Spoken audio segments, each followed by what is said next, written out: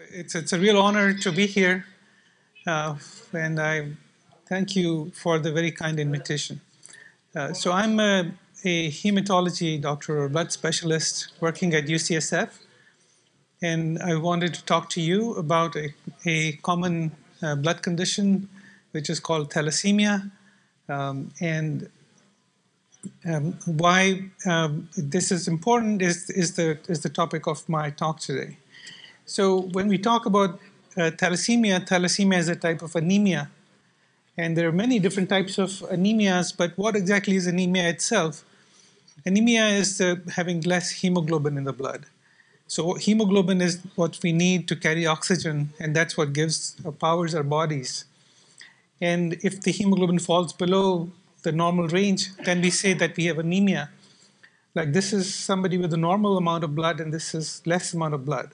So we can test blood and find out if somebody has anemia or has normal blood. And like this uh, person um, has a normal uh, red color, but this hand is very pale, so that's because there is less blood there. So when anemia is very mild, it doesn't cause any symptoms. Nobody even knows that they have anemia. But when it becomes more severe, then lots of problems can happen. So you can have dizziness, uh, lightheadedness, you feel fatigued, tired, can't do your work. And in, in, children, we also see a loss of appetite and poor growth. Uh, but like I said, when the anemia is mild, then there are no symptoms at all. Now, what causes anemia? Thalassemia isn't the only cause. Actually, the most types of anemias are caused by nutritional deficiencies. And among those, iron is the most important one and uh, and when in, especially in young children and and also in adult women uh, and in older people also we find iron deficiency which is the most common cause of anemia. Then there's some other types but the one that i want to talk about today is a type of familial or inherited anemia. And this type is the type of anemia that gets passed on from one generation to the next. And it is called thalassemia.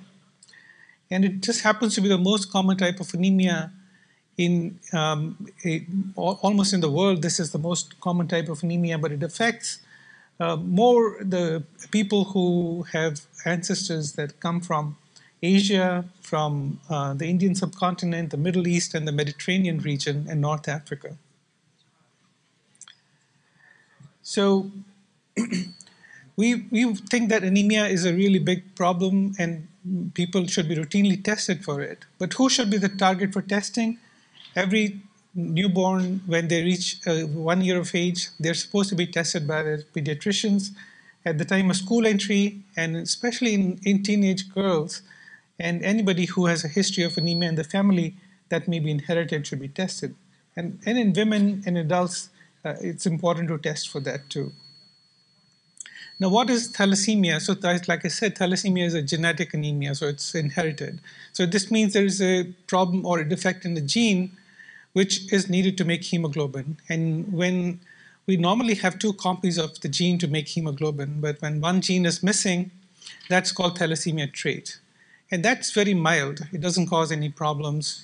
You, most people don't know that they have thalassemia trait. But if a child gets both the defective genes or the thalassemia trait genes from the parents, then he has no gene to make hemoglobin. And that's a very severe problem, and that's called thalassemia major. And when a child has thalassemia major, then they can't make blood on their own and they need to be given blood from outside or be on regular transfusions. So if you look at the world map, and this is this isn't the whole thing, but just to make the point, that the, the crosses or the red crosses here are uh, representing the regions of the world where thalassemia is more prevalent. And this is a very broad, broad band, and I, I would think it affects the majority of the world population.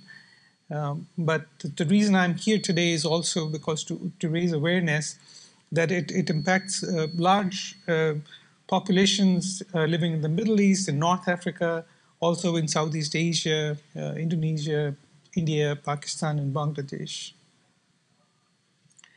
So, um, thalassemia trait, like I said, is very important because if both parents have the trait and the child can get both uh, the trait from both the parents, and that becomes a very serious disease or thalassemia major. Um, And the testing for thalassemia trait is very easy. Anybody who has anemia, um, they should be get they should get tested. If they don't have iron deficiency, then very likely they have thalassemia trait. And this is a simple test, and our hospital has been involved in raising the awareness that people should be know they should know whether or not they have anemia, and if they have, then they should get tested for thalassemia. So it's especially important for women to be tested during pregnancy and to provide counseling to parents of prospective children uh, about the risk for thalassemia in, the, in their child. Now, when both the, if a child inherits thalassemia trait from both the parents, then, then they have the serious type of thalassemia disease. We call it thalassemia major. And now you not can't make hemoglobin on your own, so you need to give uh, blood transfusions.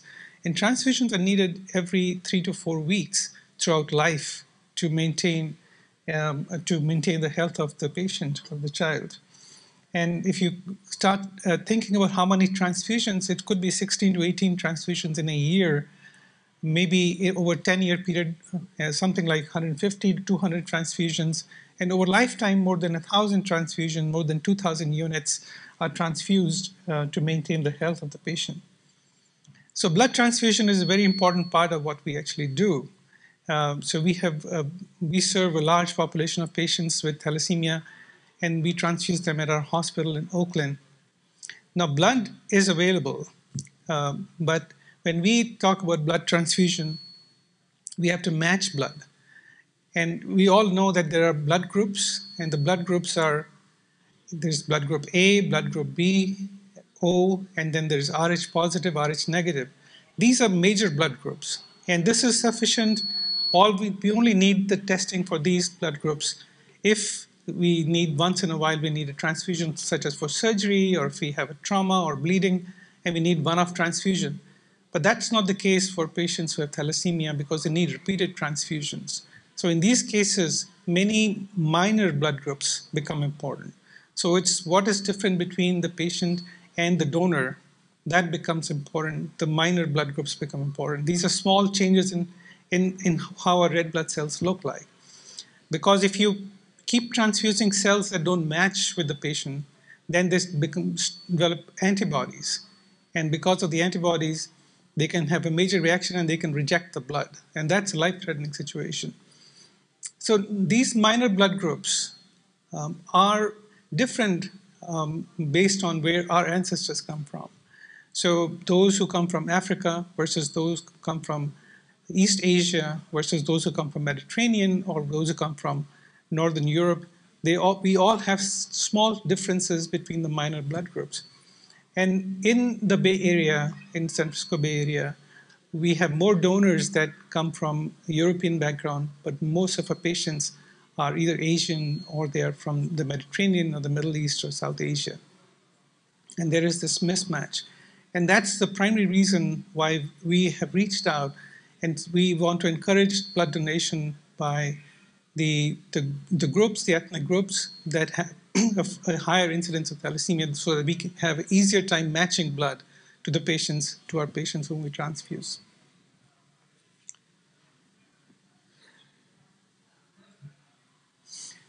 So um, blood transfusion is a, a, is a large part of what we we do. We do blood camps in our hospital so that our employees who work there they can donate blood, and then we reach out to groups um, such as the MCC um, to to become professionals, and they can live well into their old life and they can enjoy uh, life just like everybody else does.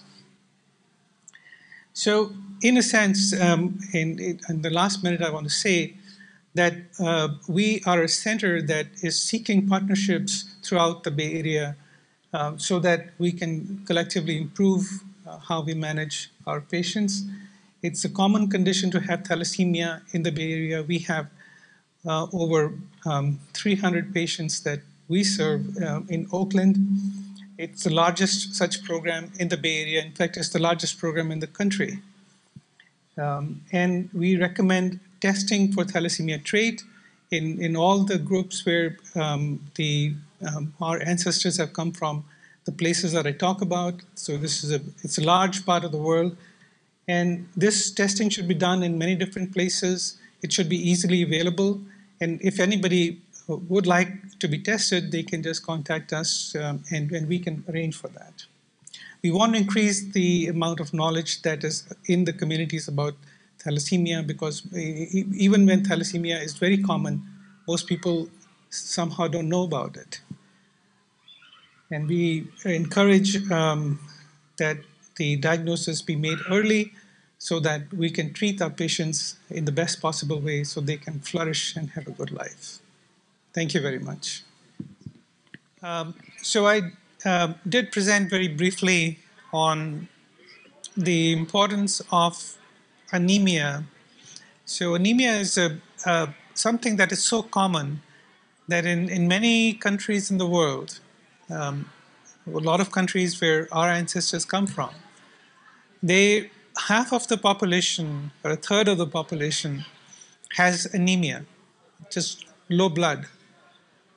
And that makes us not be able to perform at our full potential, at our optimal level.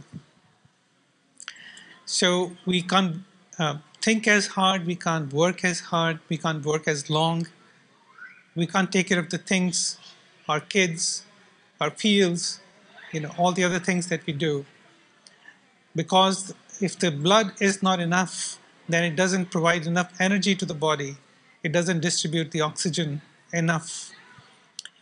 So when we think of anemia or low hemoglobin, we realize that the most common reason for that is because the diet is not good. So a lot of people have low iron in the diet. Or there could be other things that are deficient.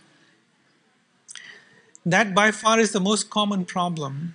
Uh, but there is a second type of anemia, which is also common, not as common as the iron deficiency, definitely not as common as that, but which affects maybe 5% to 10% of the population. So it's not rare, it's 5 to 10%. That means millions and millions of people. And that anemia is called thalassemia. Now, what is different between this and the first type of anemia is that it's not related to diet. It's not related to what we eat. It is a genetic condition. It's inherited. And it's passed on from generation to generation. Why it, it happened in the first place, why did man or humans, why did we get thalassemia as in our genes? Is because at one time the malaria was so serious that people who had the thalassemia gene could survive better when they had malaria than those who did not have that gene. So the gene for thalassemia became more common. Nowadays, many parts, many of those areas which eh, where malaria used to be very common in the ancient times no longer has malaria, right? But the, the gene that we acquired at that time is still persisting because it keeps getting passed on from generation to generation. So thalassemia is a type of genetic or inherited or familial anemia. That's, that's the main message.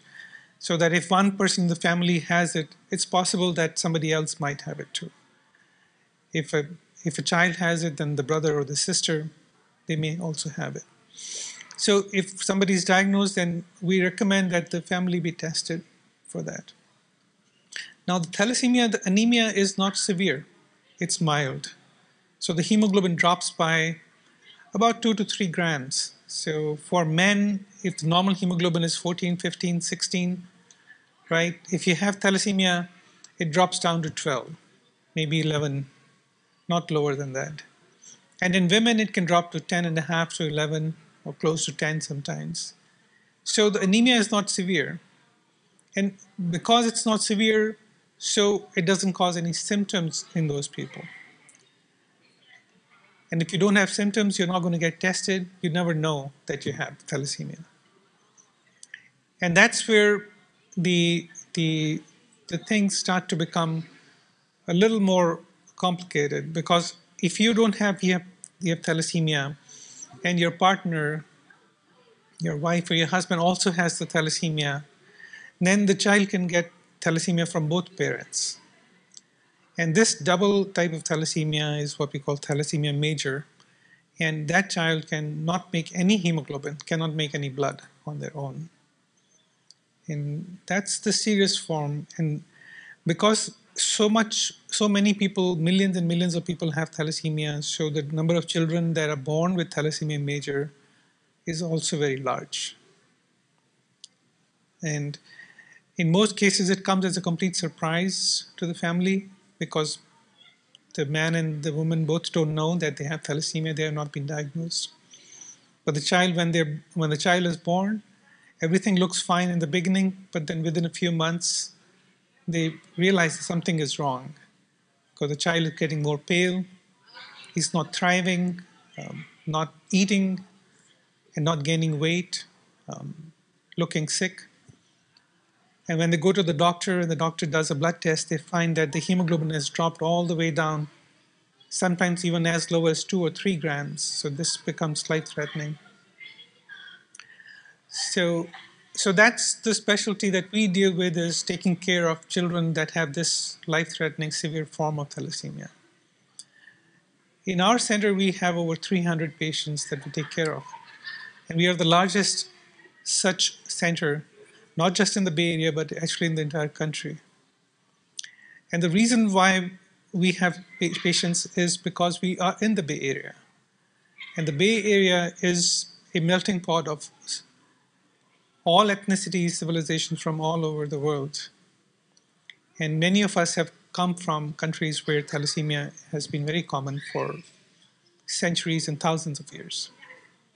So the, the good thing about this is that because we are here in California, in the Bay Area, we can provide very good care um, because we have the facilities and what's needed to provide safe blood transfusion. We have enough blood. It's all healthy donors who donate blood. And we can, these children can not just survive, but they can thrive.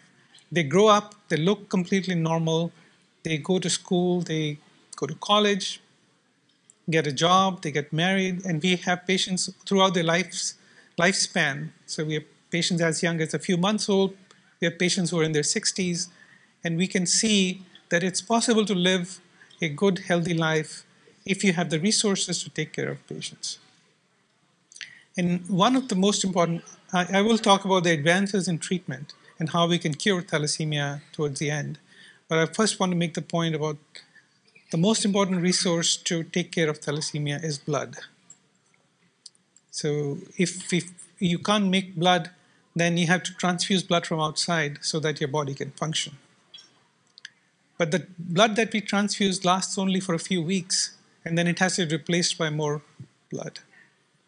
And this is a continuous process. So children who have thalassemia major, the serious form of thalassemia, they get transfused every three to four weeks. And this is for their entire lives. And to be able to do that, you need a system that provides safe blood transfusion. And the safety comes from many different reasons.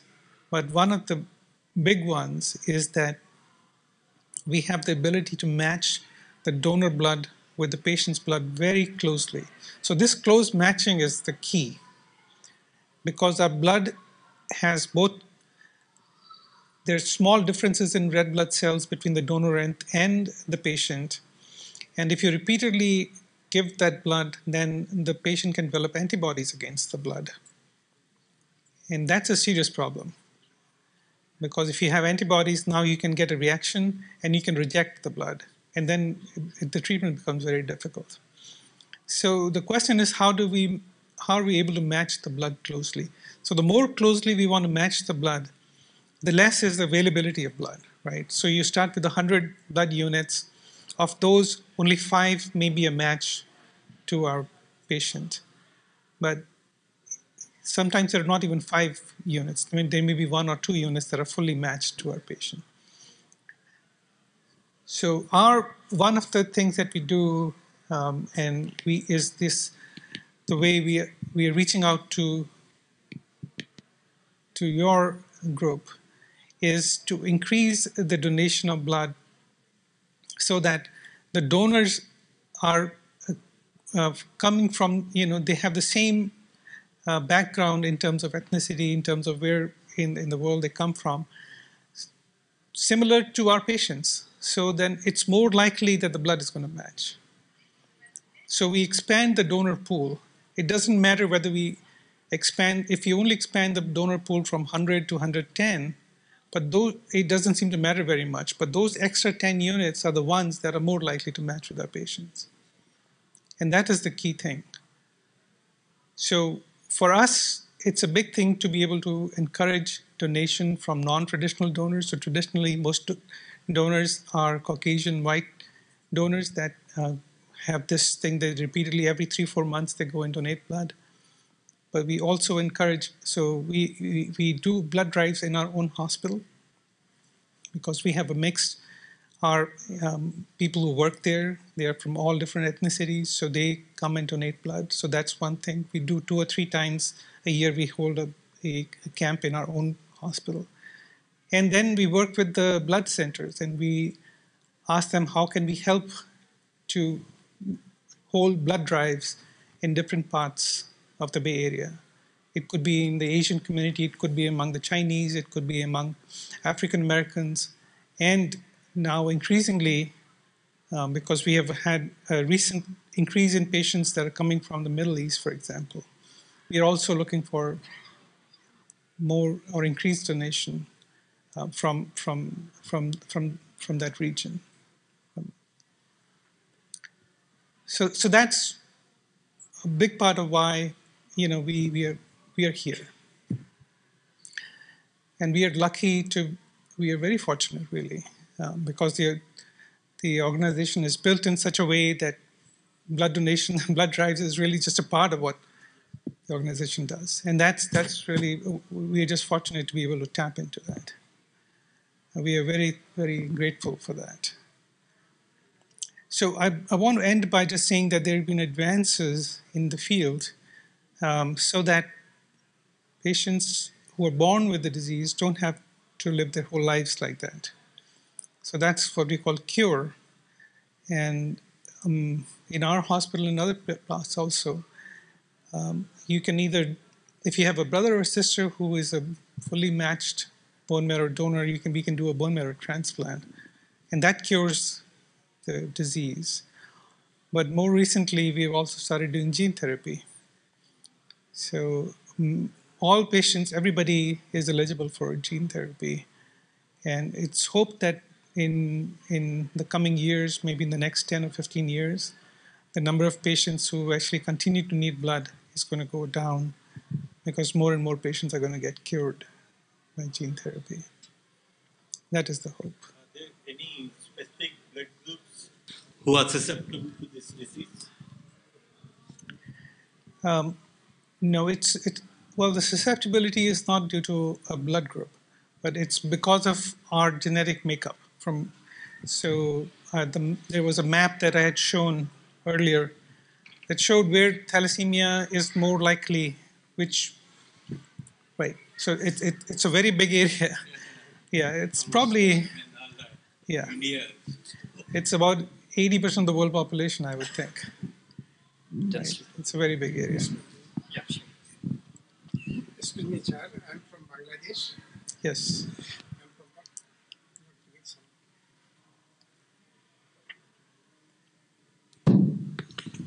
From Bangladesh. You just tell, uh, we told about the, uh, the thalassemia major and minor. And uh, so these patients are required always the blood transfusion. Which kind of blood transfusion is required? Either it is full blood transfusion or the cell volume. And if we are giving always the cell volume, it will develop the polycythemia. Then what will be the result? Okay. I think I could clear it a little bit. Right. So, so you're asking about the difference in transfusing packed cells versus whole blood. Not whole Not blood or packed cell volume. Which one is better? Which one is because better? If you are always giving the packed cell volume, it will develop the polycythemia. Right. The right. another hazard for the patients. Mm-hmm. And uh, in that case, uh, how many times we can give the whole blood cell Because the patient needs whole time, whole long life, they Right. needs the transfusion of blood. So Right. Which kind of blood you should transfuse? what what is the best type of blood to give, right?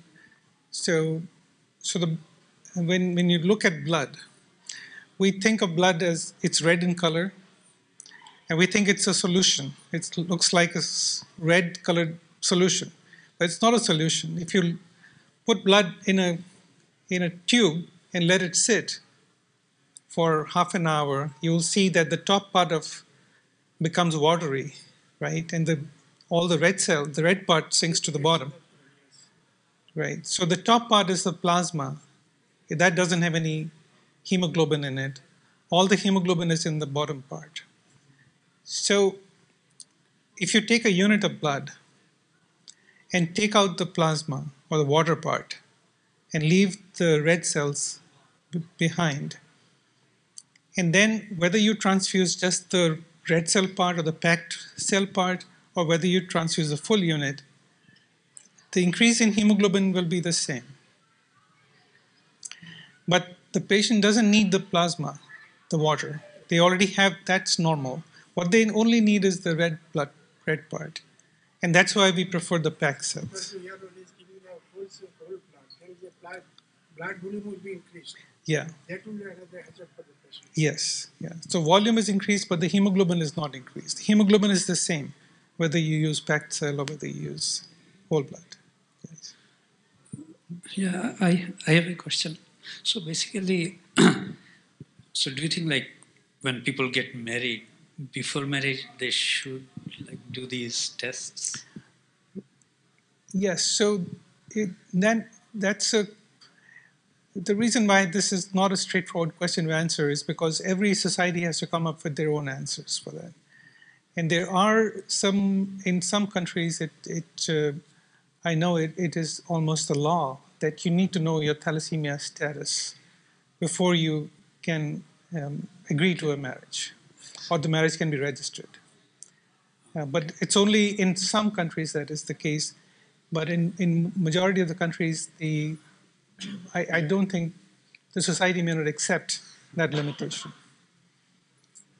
But it is recommended from from from the medical field. It's highly recommended that um, people know what their thalassemia status. So th- there is another disease like CF, like cystic. Cystic fibrosis. Yeah, so Yeah. like one of my friend, his child has it, and then he said like the, both parents has Correct. kind of So thalassemia is just one example of um, this type of genetic disease. We call these recessive diseases, which means that recessive diseases that if you only have one copy of the gene, like the cystic fibrosis, if you have only one copy of the gene, you're perfectly normal. And you wouldn't know that you have that copy of the gene. But if your partner also has the same copy of the gene, if both husband and wife have the same, then the Yes. child can get a double copy and the child has the disease. So the same thing for thalassemia. It's exactly the same thing as cystic In case of these uh, thalassemia patients who if married with the normal people, then what will be the spleen? Spleen, what will be the spleen? Whether The child? the thalassemia or not? The child will, will only have thalassemia trait, but not the serious form of thalassemia. Yeah. The state will be there. Yeah, so it's it's even more important in, that time that say let's say the man has thalassemia and is getting transfusions, then the woman should be tested. So best thing is that she doesn't have any thalassemia. Then the child cannot develop thalassemia. They not the major type of thalassemia, not the serious type. We have I just want to say we have a lot of patients who have children and they're healthy children, they're grown up, and we've seen them growing up. It's, it's just wonderful to see all of that. Yeah. The thalassemia patients are prone to diabetes or not? Thalassemia Yeah. patients, they are prone to diabetes or not? So they're prone to diabetes if their disease is not well controlled. Yeah, that is correct. Um, and the control is is I didn't go into that today. That's the iron part. So because blood brings brings in iron into the body, And if there's a lot of iron, that can cause diabetes. So you have to control the iron along with the blood transfusion. So thalassemia doesn't cause diabetes, but it's the treatment for thalassemia is blood transfusion. And if you don't control iron that comes with the blood, then you get that. So it used to be more common in the past, but nowadays it's not that common. So, so, so for, the cure, you mentioned about the gene therapy, which is new, right? And you yeah. also about bone transplant. Yes. In your center, do you have any statistic that this happened already, and you have people yeah. Right. So, um, so gene therapy um, has only developed in the last decade, really. Um, I think 2014 was the first trial started. And we've been part of the trials since then. And then two years ago, not even two years, a year and a half ago, it actually got approved as a treatment by the FDA.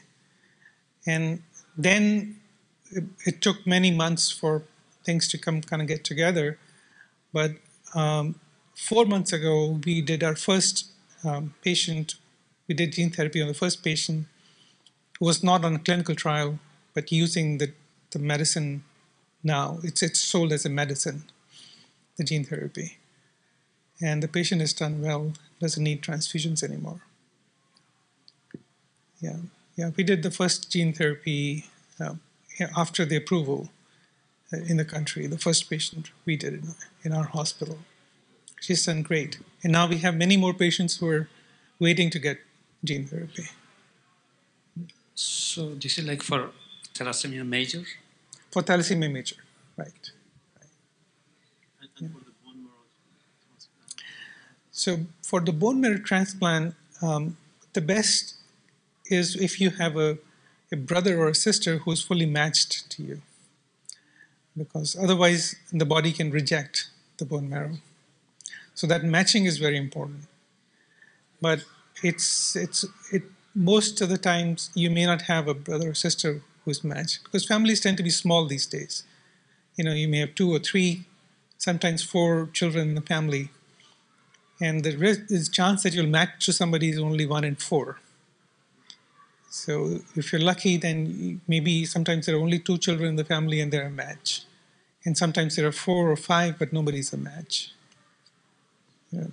So it's only about maybe 20 to 30 percent of cases where, where a match is possible. For most others, they don't have a match. If both parents have it, what is the possibility that the kids will have? Right. 100% certain or No, it's it's a it's a one in four chance. Yeah, yeah. It's it's a the probability is random because we have two genes for everything. So two genes for making hemoglobin. One is working and one is not working. And if we, we can either pass on the working gene or the non-working gene to the child.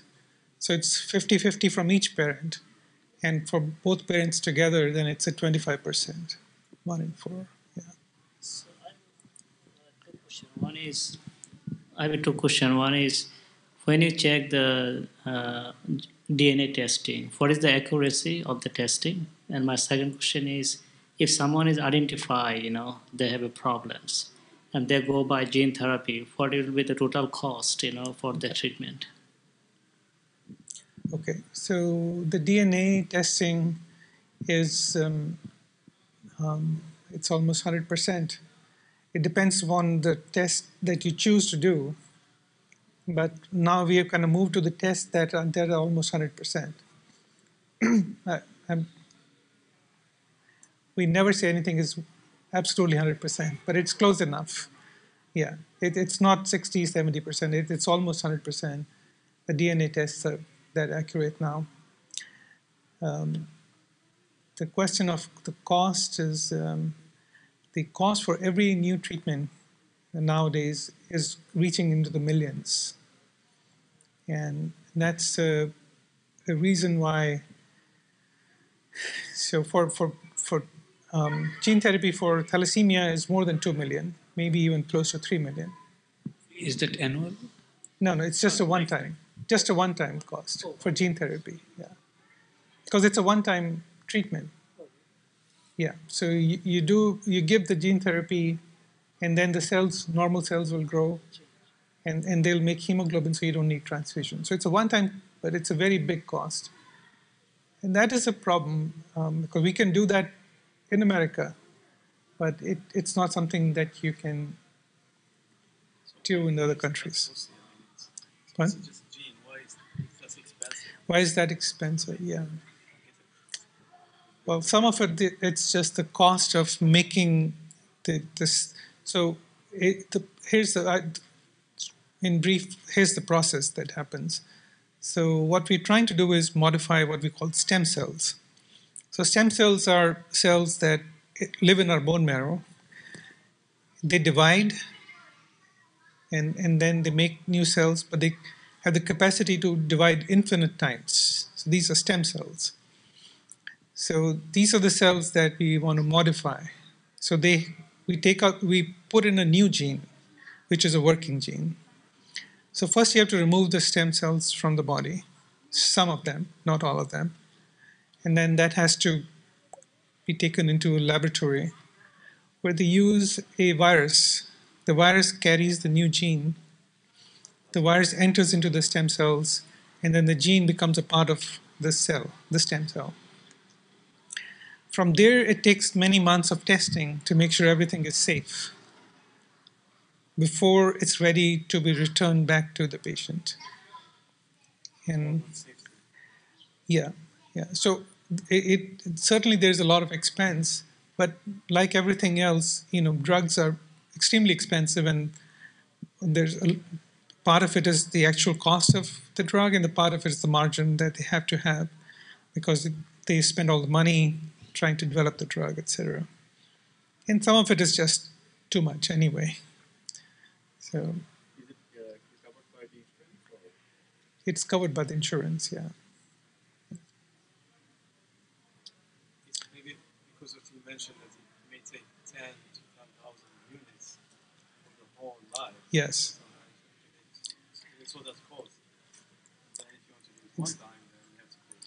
Exactly. So, so uh, I think that factors into the calculations of how drug companies calculate how much to sell the drug for. But certainly, giving some somebody independence from transfusions, it's not just a economic or financial calculation, but it's also how it changes their life. That they no longer has to be connected to a hospital. You know, they, they can be anywhere and do anything that they want. So since the main thing here, here is for people to donate the, you know, the blood, to give the blood. So if I give the blood here in MCC, how do you know that it's going to go to your center versus your in? Right? Did you, do you come here and get the blood from people, or, or it gets to you? Red Cross, they usually come. Yeah, but it's going to go to you. Mhm. You cannot control it where it's going to go. Yeah, yeah. So, yeah, we, we view blood donation as a kind of a completely selfless process. What we are looking at is just increasing the diversity of blood units that are available in the area. And it, the patient could be anywhere. It doesn't have to be in our hospital. They could be with Kaiser. They could be um, in in Sacramento. They could be elsewhere it, the whole region benefits from it. Because if a blood bank does, is not able to find a unit, they'll ask the next blood bank if they have that unit. Yeah. So, so it's it, these are not donations that are directed towards a particular patient. They, But, but you said you do it in your own center for the people who work there, right? So that you, you benefit from it, or they just give it to we, we just give it to the to the blood center. So if they have more units that are coming from uh, a diverse group of donors, they are able to find the unit more quickly every time, and it's just a better match. Yeah, yeah we have a different blood supplier. Um, a, there are two main ones. The Red Cross is one, and the other one is called Vitalant. Vitalant is the other gr- group. They're but but we, we, it, it doesn't matter to us really. We, we like we said, it, it has to benefit everybody.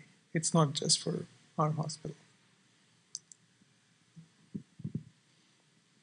yeah, blood donation is one, but but, in general, we we are we're interested in in just having the awareness of thalassemia um, in in all the communities that are. You know, we, we've done the same thing for, for with many other um, groups, um, especially the yeah eh, many Asian communities, uh, Southeast Asian communities, for example.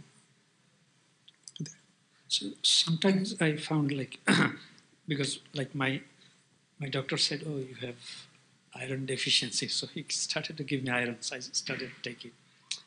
Then he thought about something and then sent me to a blood doctor, and he said that I had actually like uh, my blood cells were smaller, and I did not need iron. So you might have thalassemia. Yeah, so Yeah. that is what he said, like minor. minor exactly so yeah so there may be 15 of us sitting here so if one one of us is likely to have it even if you didn't tell me i would just guess that one of us has it so that brings it to 5 to 8 percent that's just in the general population so it's that common Yeah. Yeah. No, I have one in my family. Like she has to take regular blood. oh, okay okay Yeah, so that is how I knew. Otherwise, it is very uncommon. I don't think Yeah. anybody else knew about this. no uh, the questions that you were asking were very detailed questions and very some of them were very difficult You, you are a physician, right? Or I am a physician working in Dhaka, Dhaka. Bangladesh. I came to visit you all. Here is my son-in-law. I came Okay. to see. Just for few days. i was uh, recently I am working on diabetes. Oh, in the diabetes. in diabetes. Um, I recently met a very senior hematologist from Dhaka, from Bangabandhu Sheikh Mujib Oh, Medical yeah. University. That's the, One of the Shivaji Medical College and Hospital. Yeah. yeah. So I'm going to be in touch with him. I got his card. I met him in a meeting.